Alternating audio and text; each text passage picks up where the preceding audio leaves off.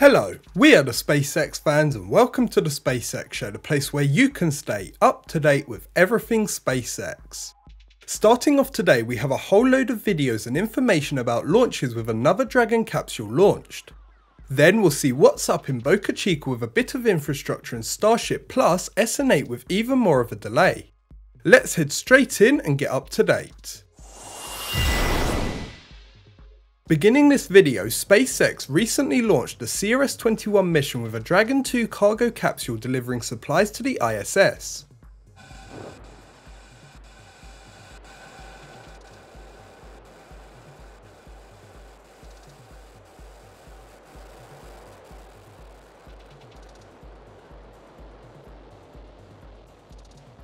The Falcon 9 booster that put the capsule into space then landed successfully for the fourth time on the drone ship Of Course I Still Love You. Here's a view from our drone ship. Here comes Falcon 9. Chico.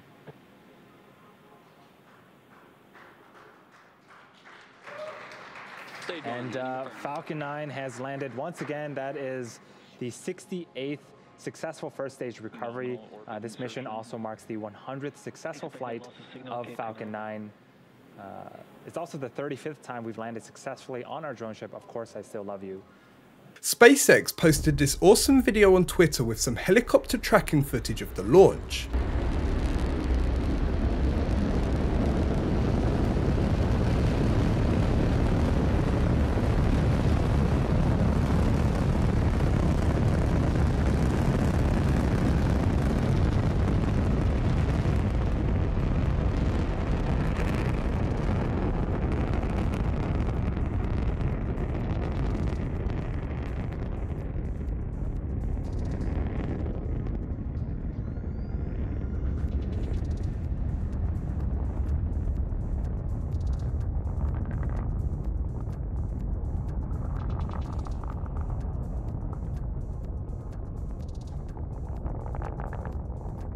They also posted another cool video on Twitter with this time lapse of the Dragon approaching the ISS. What's cool is there are now two Dragons docked simultaneously to the station.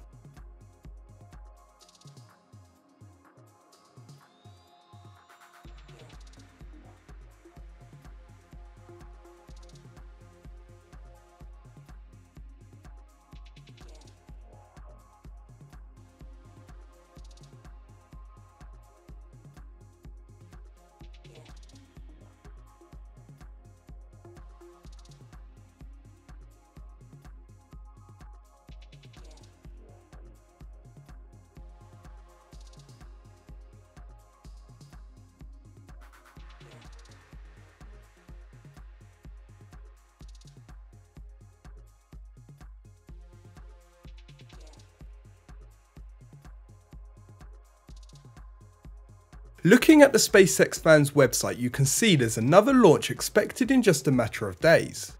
SpaceX are expected to launch the SXM-7 mission on Friday at 4.19pm UTC or 11.19am EDT.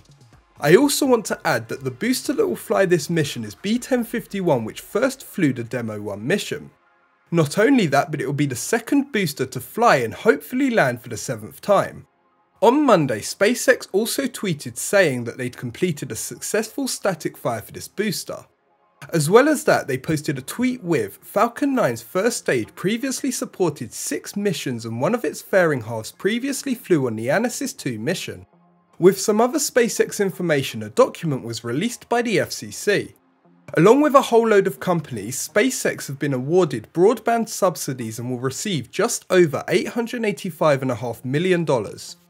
Over in Boca Chica, there are a few updates to look at, and first we have the wall continuing.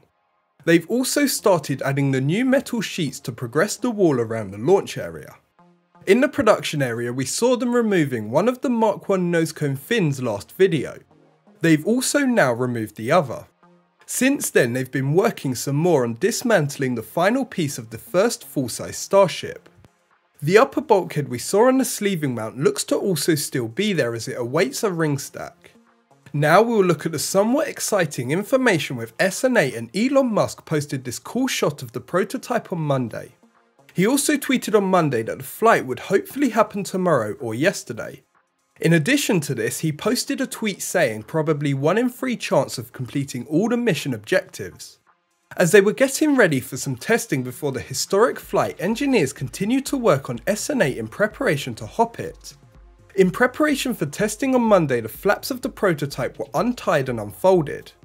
Then, before the main testing, they actuated the fins a bit to make sure everything is working fine. Later into the day on Monday, they filled the tanks and did a full wet dress rehearsal in preparation for the main event. Then comes Tuesday and SpaceX got ready throughout the day and even a NASA WB-57 plane was also deployed for high altitude tracking. Then, just before we were expecting liftoff at T-minus 1.3 seconds, Raptor aborted.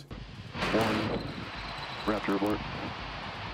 So, whilst the launch was expected and being prepared for, the Raptors did not like something and said no to the vehicle flying yesterday. The Sunday and Monday TFRs were removed earlier in the week and more were added with restrictions for today and tomorrow. Looking at the road and beach closures, we mostly see the same except that Cameron County has added a closure of Friday as well. And so with this prototype still sitting on the pad, I'm hoping they will launch it today, ideally before this video gets edited, but that may not happen. By the time you watch this though, the Starship may have already flown. With SN8 taking the limelight at the moment, SN9 is pretty much just waiting at this point for its turn. As always, thank you to Mary or Boca Chica Gal for going out all day every day to film this amazing content. Also, working behind the scenes is the NASA spaceflight team providing amazing space coverage, so thank you all too. That's it for this episode of the SpaceX Show. I hope you enjoyed the video. If you did, make sure to hit the like button and leave a comment down below. If you want to stay updated with SpaceX info, make sure to subscribe and press the bell icon to get notified when I upload. Thanks for watching and have a great day.